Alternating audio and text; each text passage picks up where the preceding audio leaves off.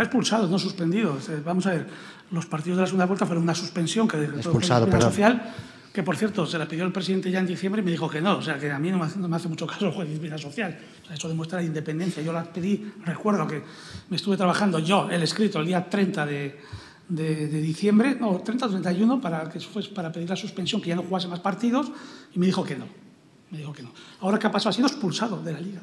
Y esa decisión es firme en vía administrativa deportiva. El Reus no pertenece ya a la Liga de Fútbol Profesional, por lo tanto, no va a jugar más partidos sin los recursos que quiere poner, que toca el TAF, no deciden suspender cautelarmente la decisión y veremos, porque ahí también hay que ver la pata de los jugadores, ¿no? que es otra historia, ¿no? de, los jugadores, como lógicamente han querido, pues eh, los jugadores del Reus han querido ir del Reus, pues es que es normal.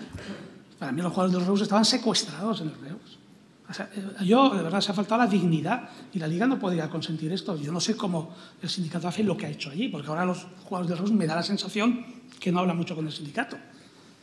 Porque hay que ir con la dignidad primero de los jugadores. Y yo no sé que, por mucho que haya una medida cautelar, si va a tener jugadores para jugar, porque los jugadores del Reus no quieren ir y se han ido, como les corresponde por la normativa laboral.